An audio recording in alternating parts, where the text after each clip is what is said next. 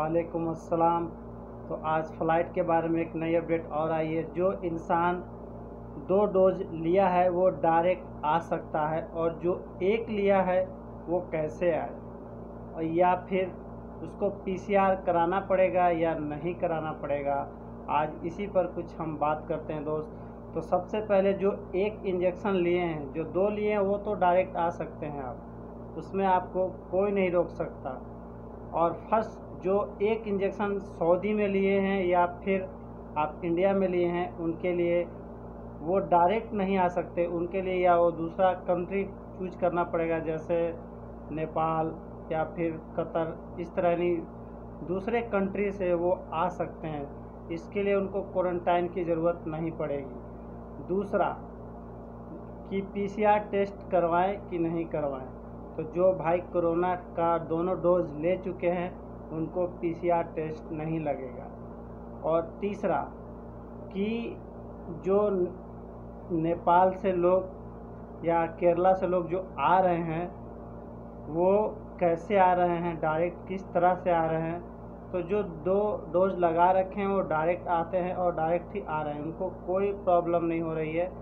बस दो आदमी को प्रॉब्लम है, जो इंजेक्शन नहीं लिया है, जो यहाँ से या इंडिया से इंजेक्शन लेकर नहीं रह रहा है या गया है, उसके लिए दिक्कत है। या तो वो इंडिया में फ़र्स्ट डोज ले या हो, वो भी आ सकता है, लेकिन उनको खर्चा या कुछ ज़्यादा पड़ सकता है। दूसरी कंट्री से आने में उनको पैसा कुछ ज़्यादा लग सकता है। इसीलिए मैं तो कहूँगा दोनों डोज लेकर आप डायरेक्ट आए। दूसरी कंट्री से आने में आपको कोई फ़ायदा नहीं है, नुकसान है। और एक बात और, पासपोर्ट को लेकर कितने भाई कमेंट करते हैं कि मेरे पास मैंने बिना सर्टिफिकेट के, यानी बिना दसवीं का मार्कशीट दिए हुए मैंने अपना पासपोर्ट अप्लाई किया और बन गया। क्या हम उस पर सऊदी अरब आ सकते हैं? तो भाई, बिल्कुल आ सकते हैं। बस आपको इमिग्रेशन जो इमिग्रेशन वाले जो के पास भेजना पड़ता है, वो चेक करते हैं। कुछ दस पाँच हज़ार आपको ज़्यादा लगेगा।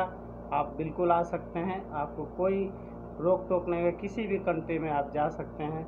बस आपको इमिग्रेशन करवाना ज़रूरी है।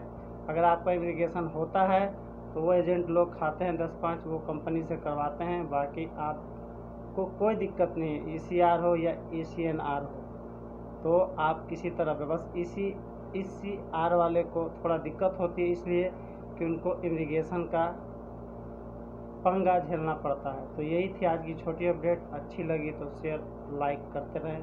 Good night. बाय।